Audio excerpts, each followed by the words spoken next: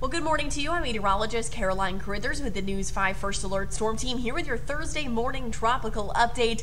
We have a lot to catch you up on, a lot going on in the tropics. The good news is no current threats to our stretch of the Gulf Coast, but there is a lot going on. So let's go ahead and start with the newest information from the National Hurricane Center. Tropical Depression 14 has formed off the coast of Africa. Now, this is a tropical wave that we've been tracking for about a week now, and it has emerged off the coast of Africa. It had a high chance for development, and it did just that. Max winds now at 35 miles per hour here. The latest track from the National Hurricane Center does have this becoming a tropical storm later on tonight. The next name on the list is Margot, and this is going to continue as a tropical storm through the first half of the weekend, becoming a possible Category 1 hurricane moving into late in the weekend. This is forecast to stay in the Atlantic, no threat to our stretch of the Gulf Coast. Moving on to a powerhouse of a hurricane. This is Hurricane Lee now category two, undergoing rapid intensification here. So max winds, the 4 a.m. update, 80 miles per hour.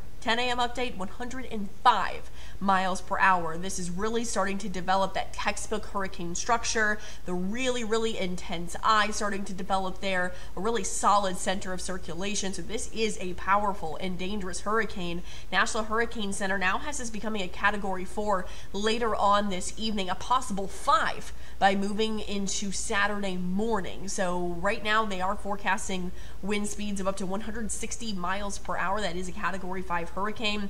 The good news is the National Hurricane Center and forecast models continue to take this north of the Caribbean, keeping it in the Atlantic, and early models do indicate that curve northward. So long term, as far as impacts in the United States, the possible East Coast, that's something that we're watching closely for. But as far as our area, it does not look like it will be a threat to our stretch of the Gulf Coast. But of course, we'll keep an eye on it for you. We're also tracking what's left of Franklin. Poor Franklin is really holding on for dear life up there near Spain and Portugal. This will likely fizzle by tonight. Obviously, not a threat to our stretch of the Gulf Coast. Probably not going to redevelop at this point.